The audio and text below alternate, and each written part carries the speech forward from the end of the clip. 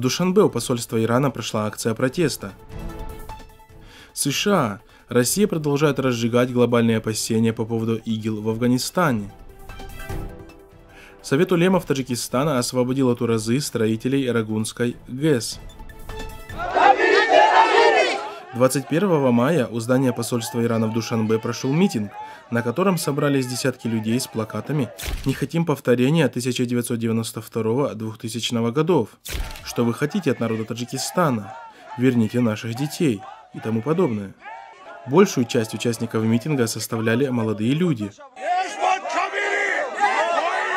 Лозунги несли патриотический характер в пользу нынешнего режима, а также против ПИФТ и его лидера Мухиддина Кабири.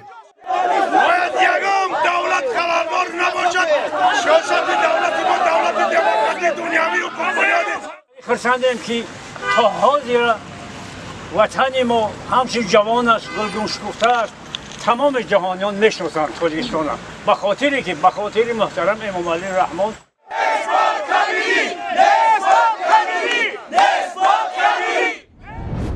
Видео с места проведения митинга были широко освещены многими информационными агентствами, в том числе и подконтрольными режиму. Акция протеста длилась не более получаса, затем все собравшиеся разошлись, никто из митингующих не был задержан. Наблюдатель отмечает, что за последние 20 лет в стране не проводилось ни одного митинга или протеста, не считая нескольких проправительственных митингов, целью которых было донесение официальной позиции властей по отношению к определенным событиям. Это были протесты в 2013 году у здания представительства ООН и посольства США в Таджикистане с требованиями экстрадиции бывшего премьер-министра Абдулла Джанова из Украины. И в 2016 году у здания посольства ЕС и Турции, а также у здания представительства ОБСЕ, где группа молодых людей, представившаяся инициативной группой «Авангард», выступила с требованиями к правительствам вышеупомянутых стран прекратить предоставлять убежище и защиту таджикским активистам, членам группы 24, а также членам ПИФТ. Здесь будет уместно вспомнить реакцию властей на призыв оппозиции к протестным акциям 10 октября 2014 года. И хотя сама акция протеста так и не состоялась, в тот день столица буквально опустела, жители боялись выходить на улицу, у каждой мечети дежурили десятки сотрудников силовых структур в гражданской одежде. Были подогнаны автобусы с затемненными стеклами, в которых находились отряды ОМОНа и СОБРа в полной боевой готовности. Все площади столицы и других больших городов были оцеплены силами специальных отрядов МВД и ГКНБ РТ.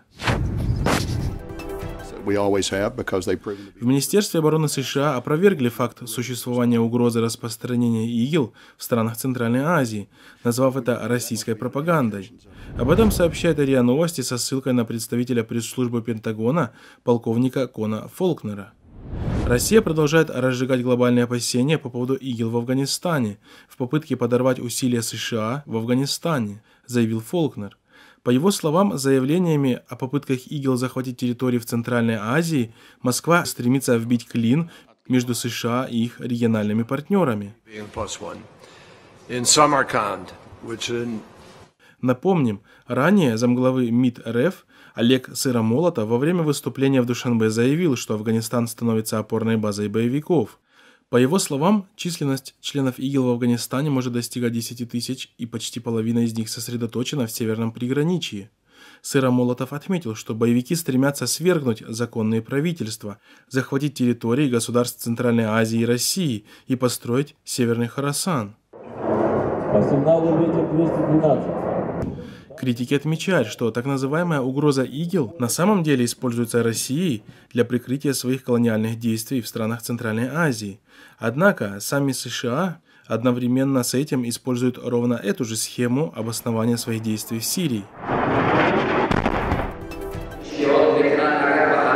Совет улемов Таджикистана порекомендовал рабочим Арагунской ГЭС не соблюдать пост в месяц Рамазан – эта фетва была озвучена Советом улемов Таджикистана после визита сотрудников Совета улемов на стройплощадку Рагунской ГЭС.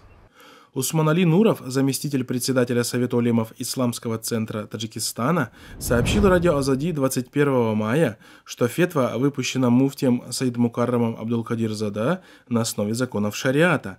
При этом не уточняется, какие доказательства, а именно хадисы или аяты, легли в основу данной фетвы. Когда мы посетили стройплощадку и тоннели, то убедились, что сильная жара, задымленность, а также работа в очень трудных условиях на глубине более 300 метров делают невозможным соблюдение поста. Муфтий выпустил фетву и ознакомил рабочих с ней. Строители могут соблюдать пост в более подходящее время, сказал Усман Алинуров.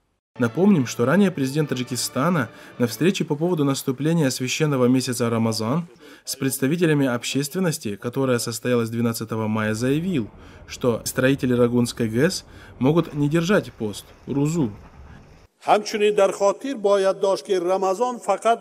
рӯза гирифтану аз кору фаъолият даст кашида дар кунҷи хона нишастанро надорад агар мо дар ин моҳ ки ба мавсими киштукор ва ҷамъоварии маҳсулоти кишоварзӣ яъне маводи ғизоӣ рост меояд заҳмат накашем.